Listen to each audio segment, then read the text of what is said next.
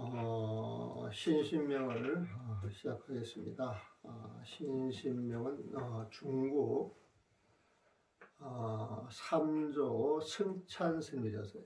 승찬스님이셔서 우리가 유명한 스님 가운데 그 육조 해능이라고 하시는 스님, 우리 육조 단경이 있잖아요. 보면 그 육조 단경의 저자 육조 해능 스님을 육조 육조 그렇게 이야기하는 것은 달마 스님이 중국 선정의 초조면은 음? 그 달마 스님의 법을 전해받은 해가 스님이 2조 그 다음에 그 해가 스님의 법을 이어받은 승찬 스님을 3조라고 그러고 어, 이 승찬 스님의 법을 이어받은 스님이 이제 도신 스님이라고 그러고 5조 홍인대사가 6조 스님의 스승이에요. 어? 그래서 이제 5조가 홍인대사고 6조가 해능 스님이신데 우리가 6조 해능, 6조 해능 할 때 중국 선정의 6조라고 하는 의미고 3조 승찰 할 때는 중국 선정의 3대조가 승찬 스님이다 이런 이야기에 보면은 이 신신명이라고 하는 글은 짧죠. 짧아요 보면 되게 짧은 글이지만은 이 글 자체로 그 불교의 핵심, 선종의 핵심을 깨뚫고 어? 그 내용을 아주 쉬운 용어로 풀이해놨다 이렇게 이해를 하시면 돼요. 신신명을 어렵다 생각하는 사람들은 되게 어려워요. 근데 신신명 내용은 되게 사실 심플한 거예요. 심플해요. 어느 정도 심플하냐? 옛날에 그 낭야각 선사라고 하시는 분한테 그 신신명을 공부하는 대학자가 어? 신신명에 대해서 아, 주석을 좀 달아주세요 이렇게 부탁을 했대요. 그러니까 그 주석을 해서 보내왔는데 어떻게 했느냐? 아, 지도 문안이요 유염 간택이라.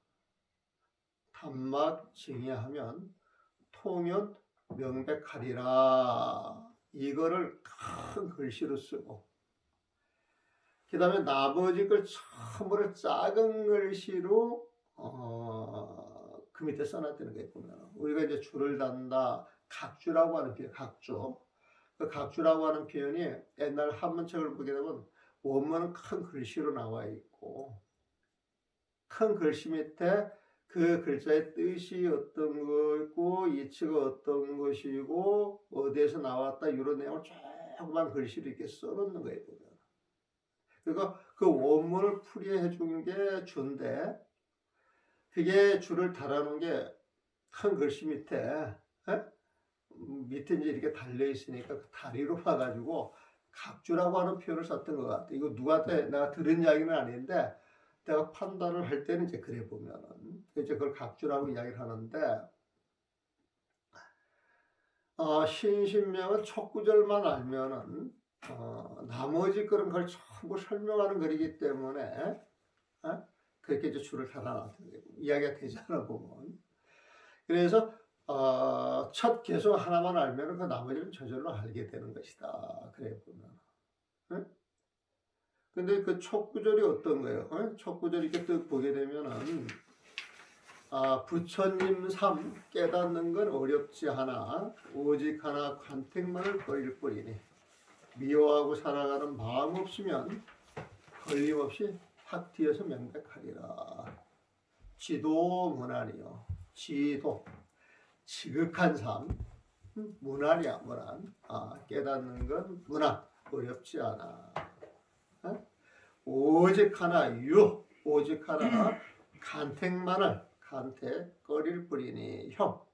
혐오하는 거야 꺼리는 거야 보면은. 유혐 간택.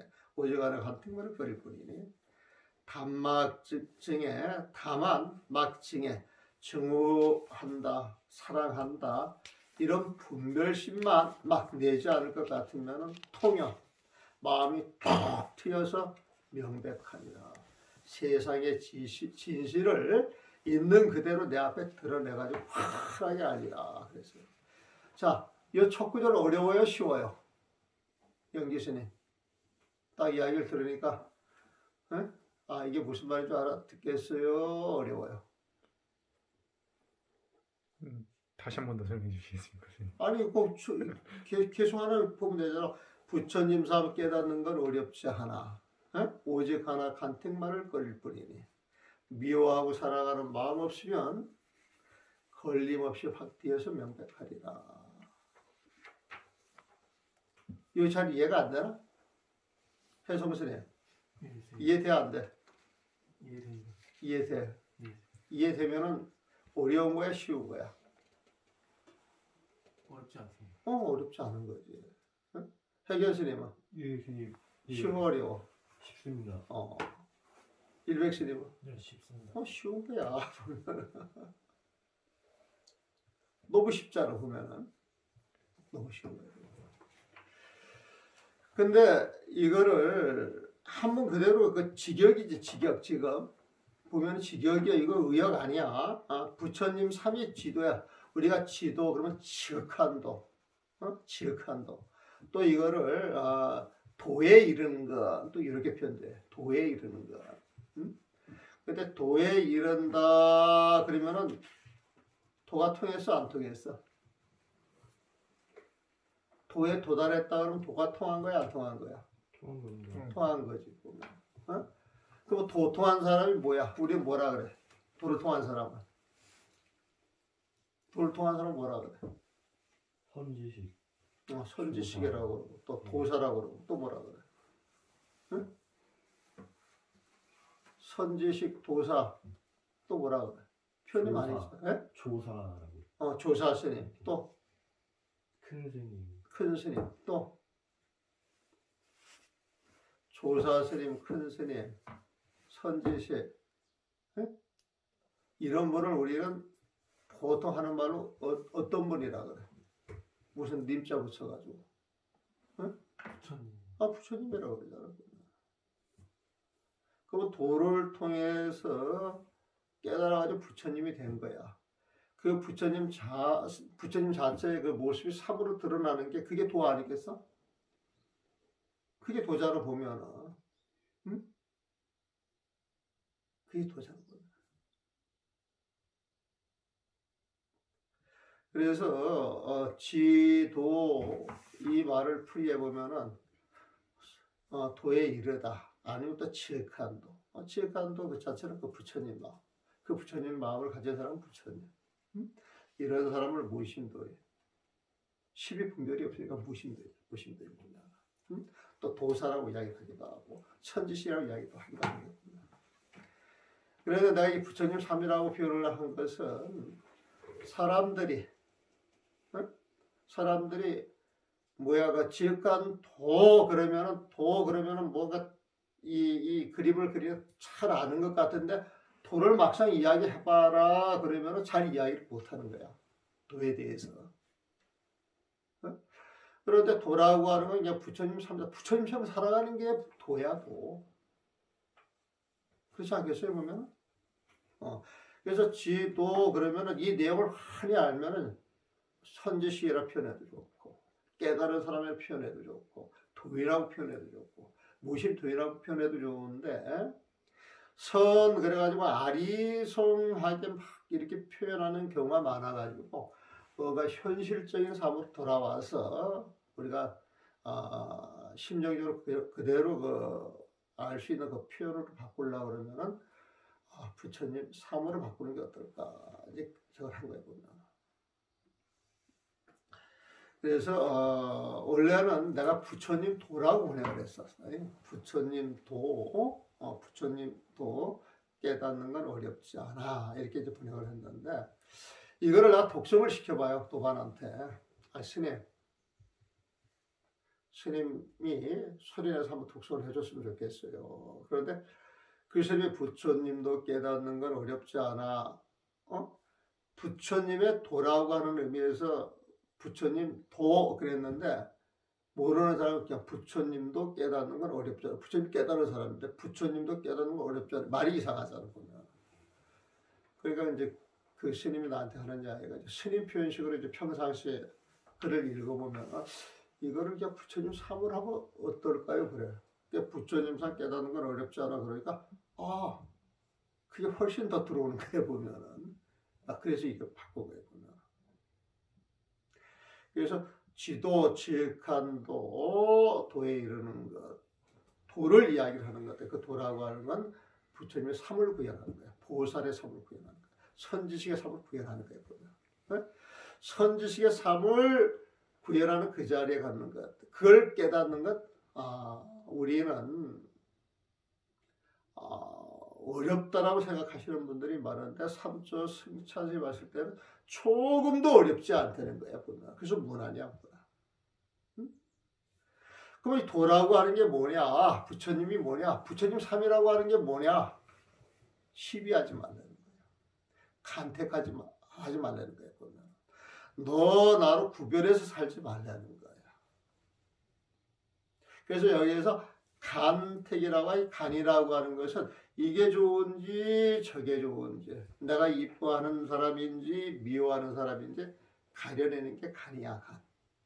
그래가지고 나는 이 사람하고 살아가라겠어. 나는 이 사람을 미워하겠어. 선택하는 게 택이란 말이에요. 그래서 간택이라고 하는 말도 사실 더 쉬운 말로 바꾸면은 시비 분별이라고 하는 말하고 똑같단 말이야. 그래서 오직 하나 간택만을 시비 분별하는 것만을 혐, 혐오하려는 거야. 꺼리려는 거야. 멀리하는 게. 혐이라고 하는 건 혐오하다 혐자예요. 보면은. 어. 혐오하는 건 가까이에 멀리해. 멀리하죠. 멀리하잖아. 보면. 응? 그래서 간택을 멀리하려는 거야. 시비 분별을 멀리하는 거야. 그게 도라는 거야. 그러니까 도 따는 게 어려워 쉬워. 재현스님 어려워 쉬워. 응? 재현스님 어려워 쉬워. 왜 말을 못해? 어렵습니다. 왜 어려워? 선택하는 걸 버리라는데 선택을 버리기는 아직 좀 힘들 것 같아요. 왜 버리기 힘들까?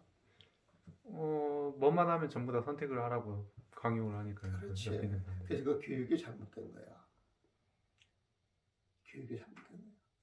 선택을 하고 시비를 가려서 어? 오른쪽으로 가라라고 이야기하는 것 이게 굉장히 좋은 교육 같지만은 시비 분별할 쪽에 초점이 맞춰가지고 간택을 해놔도 선택을 해놔도 선택한 게 계속 옳기만 해 그럴 수도 있어. 그럴 수도 있죠. 그럴 수도 있죠. 그럼 또 다시 선택을 해야 되잖아. 음. 또 다시 선택을 해야 되잖아. 그 선택의 끝이 있어 없어? 없습니다. 없어. 변화무쌍해 변화무쌍하지 않아. 변화무쌍하지 않아요. 변화무, 변화무쌍하지. 변화무쌍. 그 변화무쌍한 걸 가지고 이것만이 옳다 이렇게 주장하는 건 정답이겠어 오답이겠어? 오답. 오답이죠. 오답. 그래서 시비 분별보다는 흘러가는 인연을 보고 그 무상의 이치를 알고 어? 그 시비 분별하는 거기에 대한 집착을 딱 끊어야 돼. 집착. 살아가는데 선택은 안할 수가 없지. 시비를 가리지 않을 수는 없지 보면. 그 선택을 하든 시비를 하든 어떤 선택을 하게 되면 그 선택을 그대로 받아들이고 따라갈 뿐이지 이것만이 옳은 것이고 다른 건 절대 악이야 이런 표현을 해서는 안 된다는 거예요. 그래서 시비 분별하지 말아라 내가 이런 표현을 마- 많이 하는데 시비 분별을 통해서 집착하지 집착하지 말아라 이런 말이 어, 더 어, 생활에 그 다가올지도 모르겠어. 응? 시비 분별하지 말아라 이 말은 다른 말로 표현하면 집착하지 마세요 이 말하고 같은 거예요 보면. 오징어를 간택말을 꺼릴 뿐이니 사실 저두 줄만 딱 써가지고 나머지를 각줄 다 집어넣어도 괜찮아. 여기에 신신명에 골수가 다 들어있어 보면은 그, 그 밑에 거는 설명이야. 어? 미워하고 살아가는 마음 없으면 그랬단 말이야. 미워하고 살아가는 마음 이거는 대척점에 있는 마음이잖아. 어? 너 미워. 난 당신만을 사랑해. 너 미워. 당신만을. 당신만을 사랑하기 때문에 다른 사람들한테 차별심이 있겠어 없겠어? 있죠. 너 미워 이 말은 이뻐하는 사람이 따로 있겠어 없겠어? 있죠. 있단. 보면. 중생들은 늘 선택하라고 그러고 어? 미워하든지 중화하든지 하나를 선택을 해서 자기한테 좋은 쪽으로 가라라고 이야기를 하는데 예? 당신만을 사랑해 그래가지고 연애하고 그 연애가 잘 성공이 돼서 결혼을 하고 결혼을 잘 성공을 해가지고 식단을 잘 살고 3년을 잘 살았어 보면 근데 그 당신만을 사랑해 이게 죽을 때까지 쭉 지속이 되는 사람 있어요 없어요? 없는 걸로. 없는 것 같지.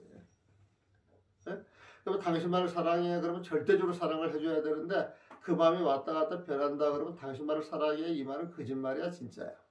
거짓말. 거짓말이지. 우리가 거짓말하고 살아야 되겠어? 어? 진실을 말하고 살아야 되겠어? 그래서 무한 사랑은 자비심이야 무한 사랑은. 그 무한 사랑은 시비 분별이 없는 마음이거 든. 시비 분별이 없어도 어, 누가 구하는 사람이 오면은 인색한 마음이 없이 베푸는 거야. 어? 도움이 필요한 사람이 있으면은 적절하게 도움을 베푸는 거예요. 보면. 근데 베풀고 도움을 줘도 내가 베풀었다 도와줬다라고 해가지고 어떤 상을 내지 않는 거야. 보살은 선지식은 부처님 그렇게 하는. 보면. 근데 중생들은 내가 도와줬어. 응? 내가 베풀었어. 이런 마음 가져 안 가져? 그걸 갖는 게 중생심이 되는. 그래서 어, 간택을 혐오하라, 간택을 꺼려라 이 소리로 시비분별하는 마음을 놓아라. 그런데 중생들은 생활 속에서 증오하는 마음, 좋아하는 마음 이걸 가지고 많이 살아간단 보면. 그래서 이제 거기에 대한 그 주석으로 이제 하는 이야기가 미워하고 사랑하는 마음만 없으면 그게 도래는 거예요. 그러니까 미워하고 사랑하는 마음 없으면 걸림없이 확 튀어서 뭐가 걸림없이 확 튀는 거야? 내 마음이 그렇다는 거야. 응? 그래서 그 자리엔 통연 여기 통연이라고 하는 거 통이라고 하는 거 뻥 뚫린 거야. 응? 우리는 늘 시비심 분별심으로 내 앞을 가려가지고 세상을 있는 그대로 보지를 못해. 시비심 분별심 그 속에 들어가 가지고 늘 시비 분별하고 하는 그 번뇌 속에 살아가는 게 중생인데 시비 분별심을 놓아버리면 집착심이 떨어지고 집착심이 떨어지면 번뇌가 떨어지고 번뇌가 떨어지면 무명이 없어져 가지고 내 마음을 가리는 게 없어 그 가슴이 뻥 뚫리는 가슴 자체가 가슴이 뻥 뚫리는 것을 통현이라 그래 뻥 뚫릴 통짜라고 그래, 통짜. 가슴이 그냥 뻥 뚫린 거야. 걸림이 없어. 그러니까 걸림 없이 내말확 튀니까 세상 있는 모습을 그대로 보겠어, 안 보겠어? 그대로. 어, 그대로 보는 거야. 삼남한상 있는 그 자체 그 실실 그대로 확 들어. 그걸 명백이라 그래, 명백. 우리가 명백하다 그러지. 분명하다 그러지. 확실하다 그러지. 가슴이 뻥 뚫리면은 세상의 진실이 명백하게 걸림없이 내, 눈- 내 눈앞에 환히 드러난다는 거예요. 그래서 그 5페이지를 봐가지고 이제 서문을 원래 서문이라고 하는 게요. 음, 그, 그 글의 전체적인 내용을 이렇게 가지고 그 쓰는 거야 보면은 거야 보면 어떤 그 시스템의 그 계율을 설명해 준 글이라 봐도 괜찮아요 보면은. 그래서 제목을 지도 문안을 갖다가 제목을 해놨어. 지도 부처님 삶 어, 문안이요. 어? 깨닫는 건 어렵지 않아. 도가 어렵지 않다. 이 말이 도 깨닫는 게 어렵지 않다 소리가 똑같잖아 보면은. 그러니까 부처님 삶 깨닫는 건 어렵지 않아. 부처님 삶을 깨닫는 것은 어, 어렵지 않다는 것으로 중생들을 독려하며 시작하는 신신명은 중국 선정의 삼조인 성찬 스님께서 남겨놓은 저설입니다. 음? 삼조 승자전문에 보면은 신심명할 때 신심명은 신심을 알잖아 우리가 믿는 마음이에요 보면 믿는 마음. 그 명, 이 명이라고 하는 것은 아 우리가 쇠에다가 글을 새겨 놓게 되면은 음? 그 글이 없어지지 않고 오래 가잖아 보면. 쇠에 글을 새겨 놓듯 이 믿음이라고 하는 것을 내 마음속에 팍 심어 놓으라는 거야. 그래서 신신명이라고 하는 것은 제목을 붙여가지고 이 글을 쓰는데 이 글을 여러분들 가슴 속에 확 배겨 놓으라는 거야. 보면.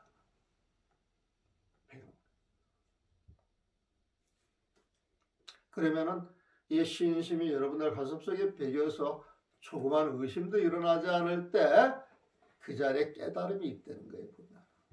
시비분별하지 않는 것이 도다라고 하는 말이 여러분 마음속에 꽉 박혀가지고 생활 속에서 시비 분별하지 말아야지 그 마음을 늘 일으키면서 시비 분별하지 않게 되면 그대로 부처님 삶이잖아 보면. 응? 그게 부처님 마음이야 보면. 신심 불이 불이 신심이라고 하는 게 맨 마지막 글에 나와요. 맨 마지막 글에. 그러니까 신심 불이 이 신심이라고 하는 건 불이 부처님 마음과 다르지 않다는 거예요.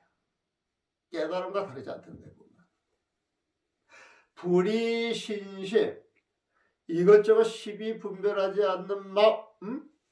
분별하지 않는 마음 자체가 그게 부처님을 믿는 마음이라는 거예요. 보면. 이 불이라고 하는 말은 아, 불이라고 하는 말은 이 우리가 이라고 하는 표현이 나와 그 무이 그래가지고 어, 무이라고 하는 표현도 있고 불이라고 하는 표현도 있는데 그 이라고 하는 글 이라고 하는 글자가 나오게 되면은 이거 십이 분별하는 마음이다 이렇게 보시면 되게 좋아. 네? 그 불이 그러면은 둘이 아니다라고 번역을 많이 하는데 십이 분별하는 마음이 아니다. 어? 그럼 뜻이 더 드러나지. 우리가 무이라고 하는 표현을 써요. 무이. 둘이 없다라고 하는 표현을 쓰는데 그 둘이 없다라고 하는 마음도 십이 분별하는 마음이 없다 이렇게 보면은 100%더 뜻이 확실하게 드러나. 근데 기존에 그 글을 이렇게 쭉 보게 되면은 불이 무이라고 하는 표현을 둘도 없다. 둘이 아니다. 이런 표현을 많이 하거든요. 보면은 그 이자가 나왔을 때 십이 분별하는 마음이다. 이렇게 보시면. 십이 분별하는 마음이 둘로 갈라지고 그 둘이 넷으로 갈라지고 어? 넷이 여덟로 갈라지고 계속 갈라지는 거예요. 보면은. 문둥병에 걸려 죽을 고생을 하고 있었던 승찬 스님은 병자였어. 어느 날 달마 스님의 제자인 이조 해가 스님을 찾아가 다짜고짜 물었습니다. 자, 이조라고 하는 표현 나왔죠. 이 해가 스님은 달마 스님의 제자예요. 그 달마 스님은 중국 선정의 초조야. 그래서 일조야, 일조. 일조라고 하는 표현 대신에 중국 선정의 초조 달마, 이조 해가 삼조 승찬. 그 삼조 승찬 스님은 육조 스님의 할아버지, 할아버지, 할아버지가 보면은 아, 사조 도신 오조 홍인대사가 육조당령에 등장을 하죠. 어? 그래가지고 육조 스님한테 법을 전해줘. 그 육조 해능 스님이 법문한 걸 그 오록을 모아가지고 지금까지 남아서 어, 우리가 공부하는 책이 육조 당령이라고 하는 책이 있어요. 근데 이 육조 당령의 뿌리도 어디에서 나왔느냐? 삼조 승찬한테 나온 거예요. 삼조 승찬의 뿌리는 어디에 있느냐? 달마심한테 나온. 보면. 달마심의 그 뿌리는 어디에 있느냐? 부처님의 법을 전해받은 가수한테 있었던 거예요. 보면. 응? 가수한테 에? 거실 올라가기 전에 선종의 이조가 누구냐? 아나니 아나. 아나니. 아나를 깨치고 난 다음에 500 결집에 들어가가지고 구술을 해요. 그 경전도 선종 이조 깨달은 자 아난의 입에서 구술이 된 거야 보면. 그러니까 경전도 어? 어 이 부처님의 아, 말씀을 우리가 구전을 해와서 문자화 시켜가지고 만들어 놓은 거지만은 그 과정을 안을 통해서 왔지만은 그 안안이 조사 스님이고 깨달은 자였고 부처님 법을 전해받으신 분이란 말이에요 보면 전해받으신 분. 그러니까 이 경전도 사실 어, 그 조사 스님의 조술이라고 볼 수 있겠어 없겠어? 에? 아 부처님이 조사 스님의 에? 본질 아니야 본질 보면은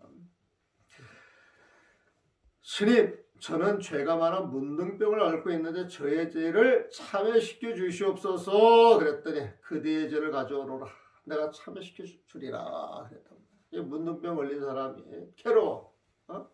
내가 전생에 무슨 죄를 지었기에 금생에 무슨 죄를 지었기에 내가 이런 꼴인 거 해가지고 아, 도인을 찾아가서 지금 묻는 거예요 보다가 이조회가를 찾아가가지고 어? 죄가 많아 문둥병을 앓고 있는데 스스로 죄인이라 그러는 거야 보면. 저의 죄를 참여시켜 주시옵소서. 하니까 그대의 죄를 가져오라. 내가 참여시켜 주리라 그런단 말이야. 그러니까 자기 입으로 죄를 이야기를 했고 그 죄 때문에 문둥병이 있다고 생각을 하고 있는데 하고 있는데 그 죄를 가져오라. 그러니까 그 죄를 갖다 내놔야 된단 말이야 보면 그러니까 이제 자기가 앉아가지고 자기 죄를 찾아. 어? 자기 죄를 찾아보니까 아무리 찾아도 찾을 수가 없어. 마음을 들여다봐도 내가 죄요 하는 게 없어 보면 스님 죄를 아무리 찾아도 찾을 수가 없습니다. 그랬어요 보면 죄를 참여한다. 참여를 통해서 죄를 없앤다 소리 아니야 보면 근데 죄를 찾아도 찾아도 죄가 찾아지지 않는다 그러면 참여할 게 있어 없어? 없는 거야 보면. 어? 그러면 참여가 다 끝났어 안 끝났어? 끝난 거야. 그렇다면 죄는 모두 참여되었다. 그래서 하는 이야기야. 어? 죄를 찾아도 죄가 없으면 죄 참여 다 한 거 아니야. 뭐. 그래서 죄는 모두 참여되었다. 이제부터 그대는 불보, 법보, 승보에 의지하여 살도록 하여라. 삼보에 의지해서 살려는 거야. 불보는 부처님이요. 법보는 부처님의 법이요. 승보는 부처님의 법을 그대로 따라가면서 사는 거예요, 보면은.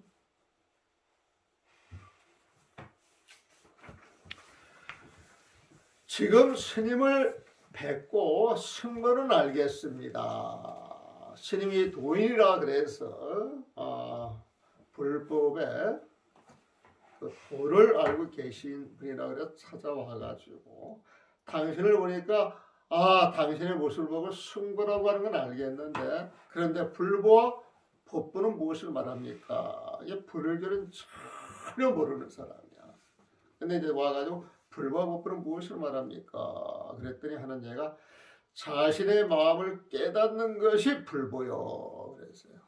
자신의 마음을 깨닫는 것. 그 깨달음이 부처님이요. 우리 절집에서는 그 부처님의 그 마음을 보배로 삼는 것이다 말이야. 그래서 그걸 불보라고 하는 것이요. 그 마음에서 나오는 법이 법보이다.